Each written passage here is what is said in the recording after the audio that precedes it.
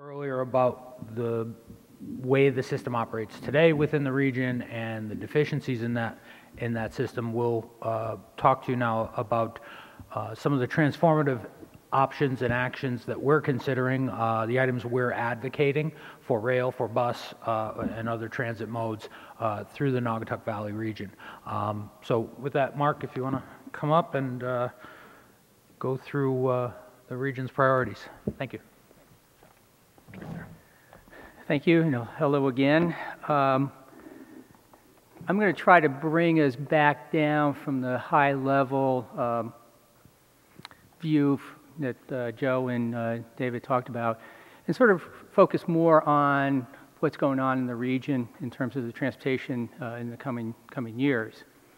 Uh, again, we have a lot of highway issues that we've already talked about. You know, 84 is congested.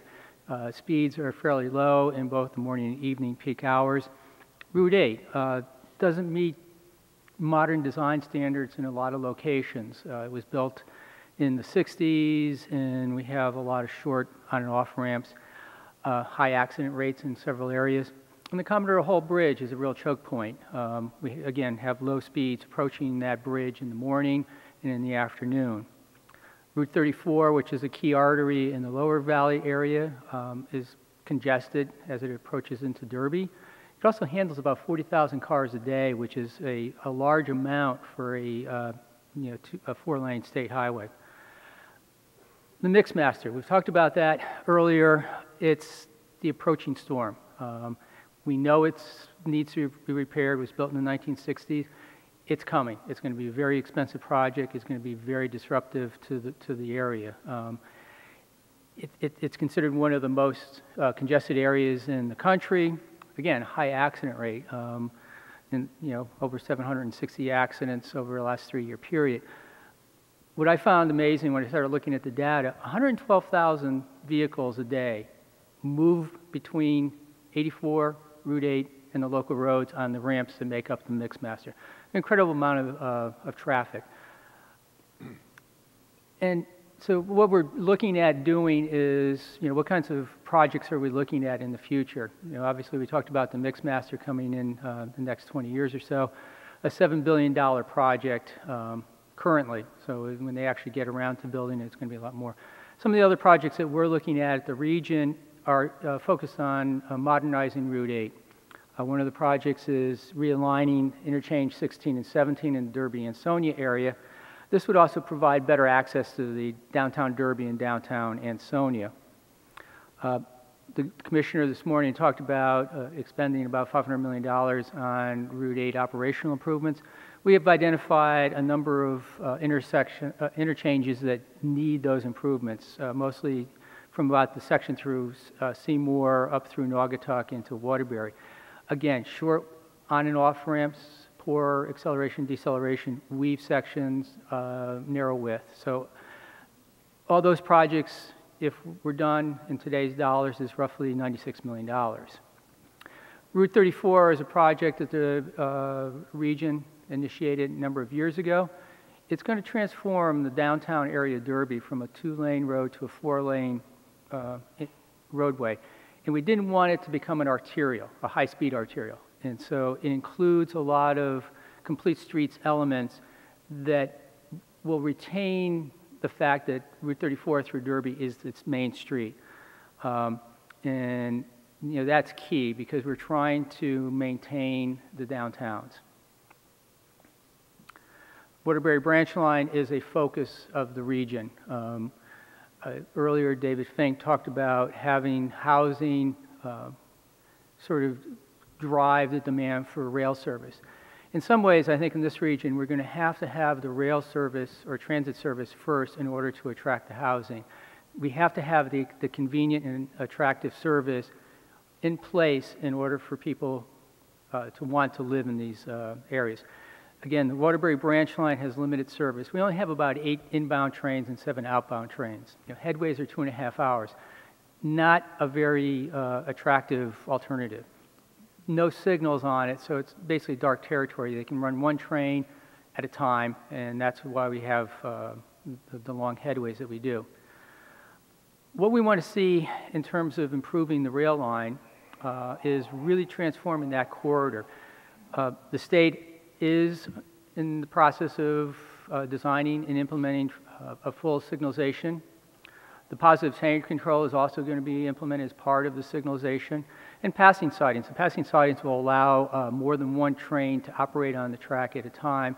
Um, You know, a uh, northbound train can move over to the siding to allow a southbound so- uh, train to to pass, for example.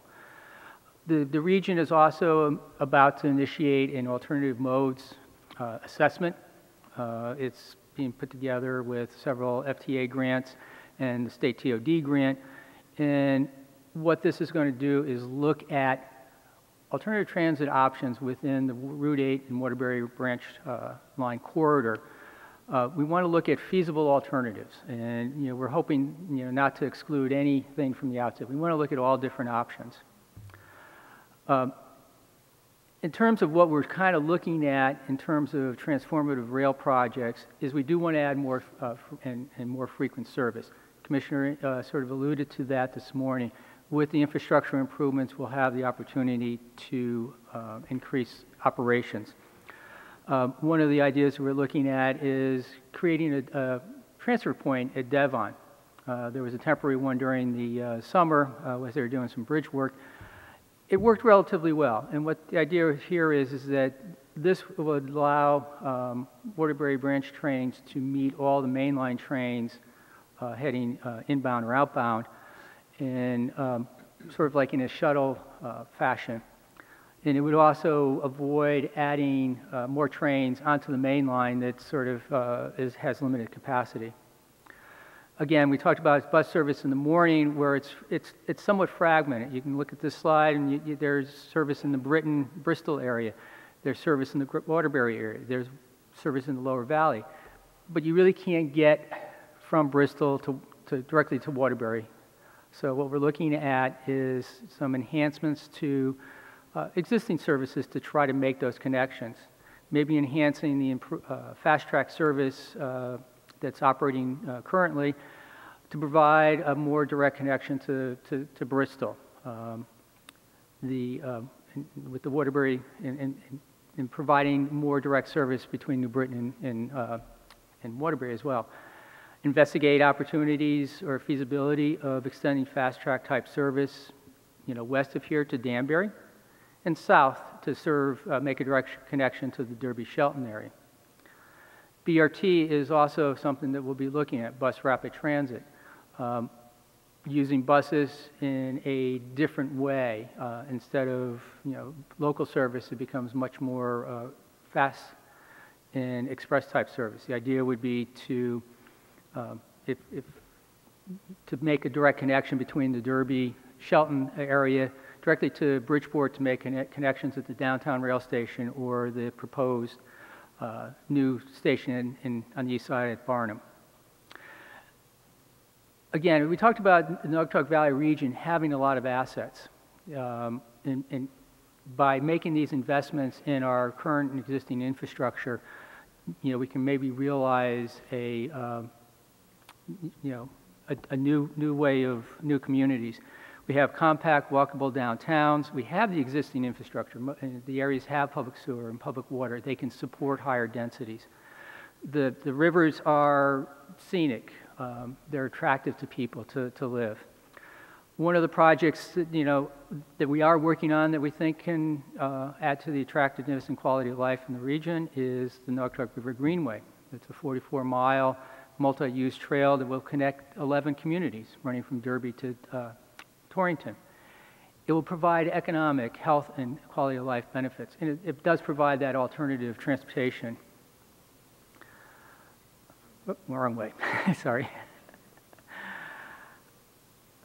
And uh, the, the mayor this morning sort of alluded to the, um, what's referred to as the water project. It's the Waterbury Active Transportation and Economic Resurgence Project. It was funded under a Tiger grant.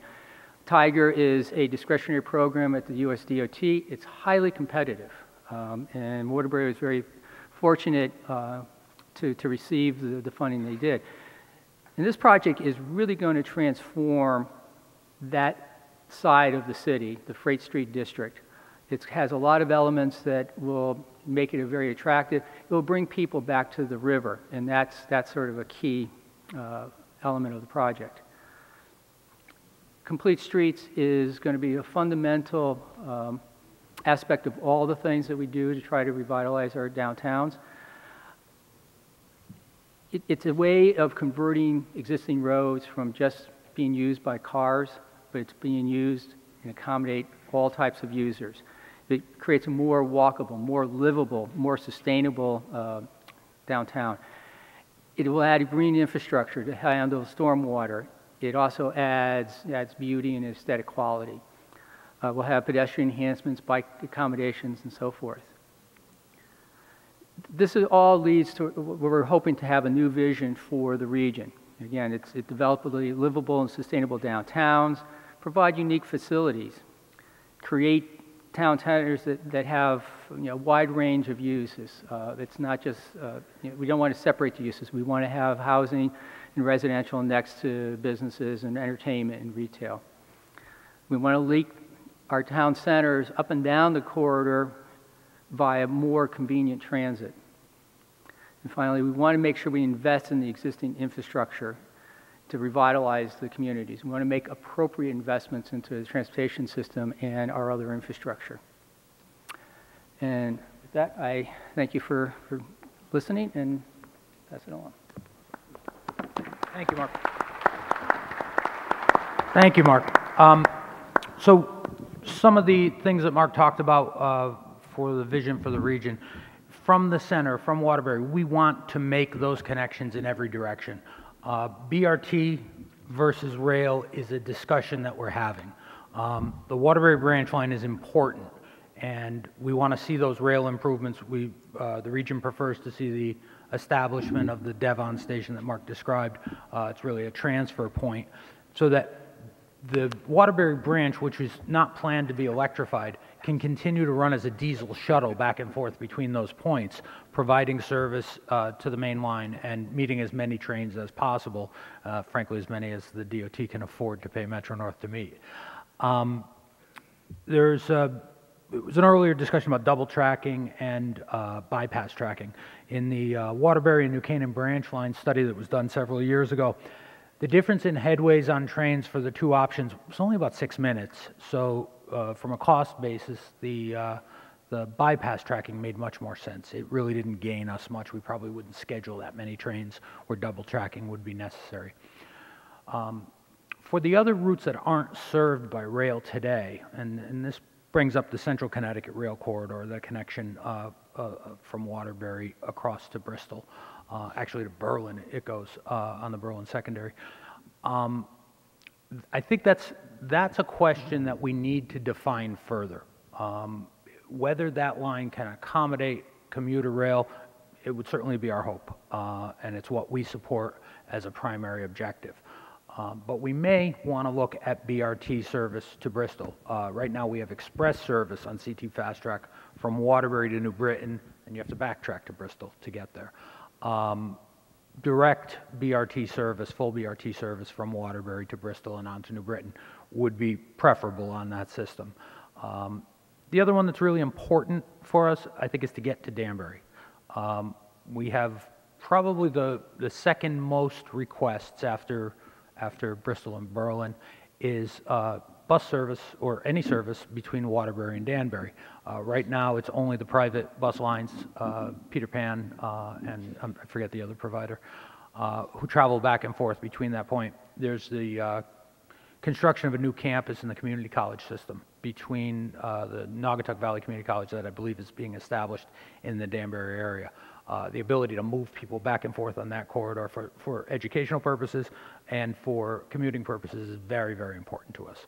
Um, and then lastly, uh, as Mark said, we're going to be kicking off uh, the Route 8 corridor study, which is going to look at BRT uh, from the Naugatuck Valley to get to those job centers in Shelton and Trumbull uh, down to the Bridgeport station because in that whole Route 8 corridor, there really is no commuting option. You have to drive your car to get there.